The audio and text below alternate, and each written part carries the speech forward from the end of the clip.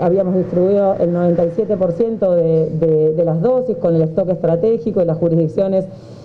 eh, eh, gracias al esfuerzo que están realizando, tienen una velocidad de aplicación de las dosis que cada vez es más alta. Eso es una gran noticia y a medida que van llegando las dosis, la aplicación tiene una velocidad importante para proteger lo antes posible a quienes tienen más riesgo de tener complicaciones y fallecer. Está llegando el domingo a la mañana temprano estas 864 mil dosis del mecanismo COVAX y estamos trabajando fuertemente para seguir recibiendo lo antes posible eh, más dosis de eh, todos los compromisos que tienen los laboratorios con Argentina para seguir sosteniendo esta campaña de vacunación y protegiendo a quienes tienen más riesgo de tener complicaciones y morir a quienes tienen un riesgo eh, una exposición aumentada al virus y trabajando también muy muy fuerte en seguir complementando las medidas de cuidado, en, en poder profundizar esas medidas de cuidado, atento al aumento, a la velocidad de aumento que están teniendo los casos en el AMBA.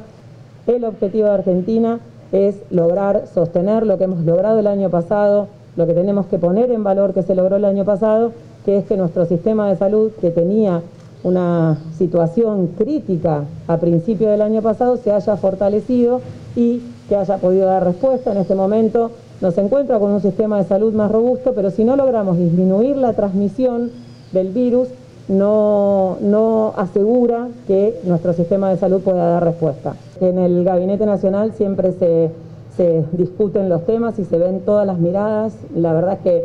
eh, por ahí mm, no hace falta, pero hay que ponerlo en palabras eh, no, no es una decisión fácil, no hay ningún país que tenga la respuesta y realmente hay que poner en valor las cosas que venimos analizando y compartiendo permanentemente, donde eh, si bien el aula puntualmente es algo que se viene analizando y no es la principal fuente de infección, todo lo que se genera alrededor de las clases es lo que se ha tenido en cuenta y lo que se ha ponderado en relación a tomar esta medida como venimos diciendo, intensificada, localizada y transitoria sobre la circulación de personas.